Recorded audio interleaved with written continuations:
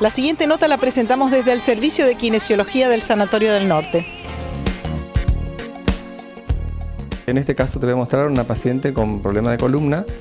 Ella eh, ingresa al servicio de kinesiología para iniciar con un tratamiento de RPG puramente, pero en este momento yo propuse otro tipo de tratamiento, aparte del RPG, hacer algunos ejercicios de fortalecimiento, eh, justamente para evitar la sifosis, que es muy común en las personas mayores de 40 años, eh, que acentuamos más que comenzamos el problema de postura por la edad y, bueno, lo que estoy buscando en este caso es haciendo algunos ejercicios para fortalecer todo lo que sea espalda, dorsales alto, trapecio, todos los músculos de espalda para no producir la sifosis. ¿Qué es la sifosis? La curvatura hacia adelante de toda persona que, con el transcurso de la este, vamos tendiendo a esa postura, digamos. Seguramente el hecho de que Silvia no tenga sobrepeso y que sea deportista este, ayuda mucho. Sí, si viene una paciente que está muy bien físicamente, eh, evidentemente, como verán, se preocupa mucho, se, preocupa, se ocupa mucho de su, de su cuerpo, entonces están las condiciones que ella está en este momento.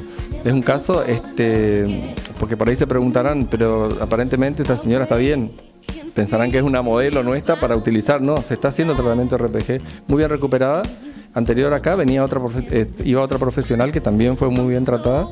Eh, y continuamos, todo con una, con una actividad, digamos, de acuerdo a la necesidad de ella. En líneas generales, ¿qué es RPG?